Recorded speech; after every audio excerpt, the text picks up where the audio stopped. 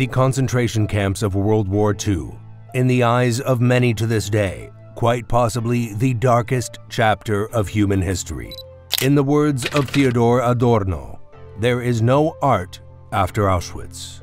Yet observing the actions, the cruelty, and the vacuum of humanity that made these camps possible is an essential responsibility.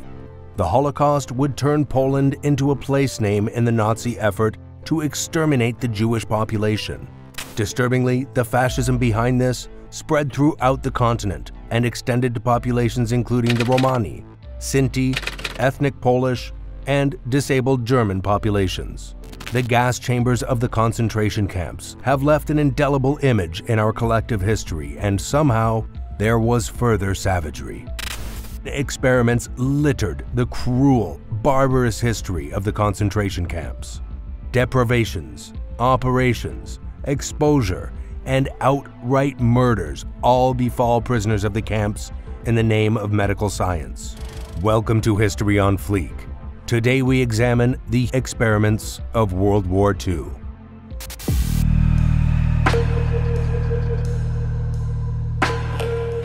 Arguably the most chilling experimentation found in concentration camps was the transplantation of bones, muscles, and even nerves from prisoners.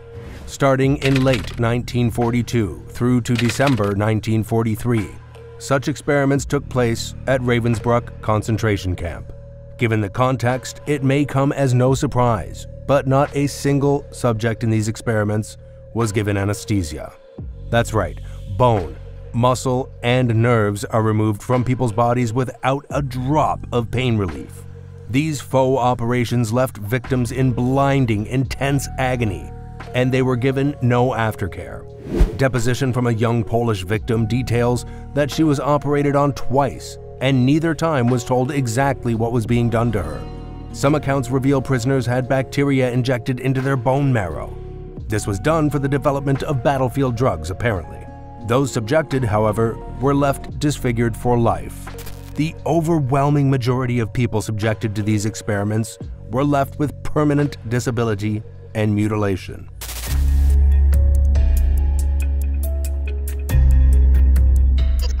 The most consistent experimentation found at the concentration camps was the use of mustard gas on the prisoner population. Like many experiments conducted at the camps, this was done for the benefit of the German army soldiers. The Nazis wanted to know how to treat chemical wounds and burns, and they'd harbored entire populations they'd robbed of all humanity, entire populations to be used as test subjects for a spell that nearly lasted the duration of the Second World War from September 1939 to April 1945. Camp prisoners were exposed to mustard gas and sulfonamide, and even injected with chemical gas agents to inflict the worst of injuries.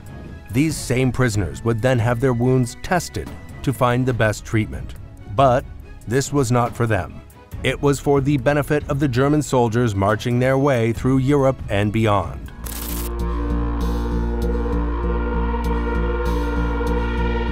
Any understanding of the grim human experimentation in concentration camps demands the attention of one individual above any Josef Mengele. A man of such lethal consequence, he will be eternally remembered in the annals of history as the Angel of Death. Before the outbreak of World War II, Mengele had studied medicine and anthropology at the doctorate level. Even before joining the Nazi Party in 1937, the promise of Mengele's medical fascination was showing teeth. His doctorate was a study in genetics and malformations resulting. So astute were these works on cleft palates, lips, and chins, they were in line with mainstream science of the time. Authors have noted publications of Mengele's studies were likely to have been valid works beyond Nazi Germany at the time. However, not a soul could have imagined just how perverted and costly this one man's foray into medicine would become. Five years after joining the SS, Mengele would become the chief physician of the Romani family subcamp in Birkenau in 1943. There began two long years of subjecting human beings to lesser treatment than lab rats.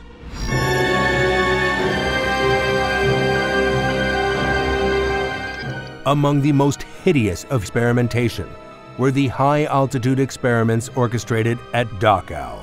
At the start of 1942, SS Dr. Sigmund Rascher started selecting camp prisoners to conduct high altitude tests for German pilots. Using a low pressure chamber, prisoners were subjected to depressurization that would simulate the effect of altitudes as high as 68,000 feet.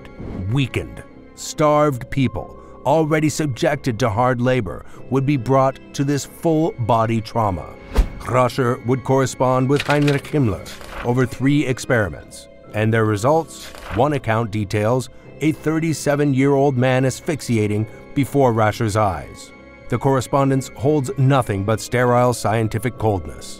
Documents show us that 200 concentration camp prisoners were subject to the testing. 80 would be killed from the low pressure chamber testing. The remaining 120 would be murdered afterward.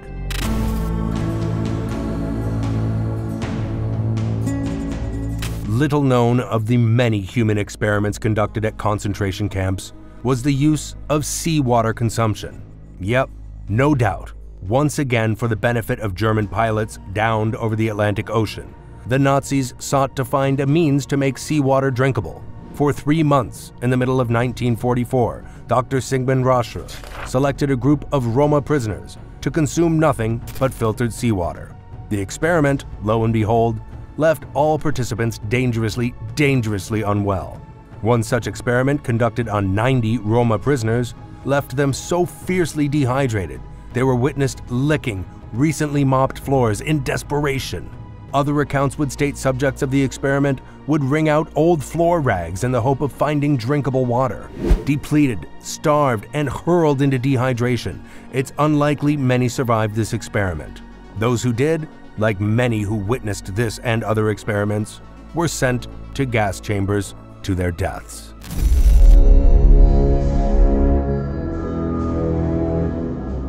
under the orders of the Luftwaffe. Experimentation included subjecting camp prisoners to freezing conditions to study hypothermia. These experiments began in 1941, and around 400 were conducted. Many prisoners would have been subjected to the testing on more than one occasion. Sigmund Rascher would oversee freezing experiments in Dachau. In 1942, camp prisoners suffered sitting in freezing water tanks for as long as three hours. All the prisoners would then be subjected to efforts of rewarming their bodies.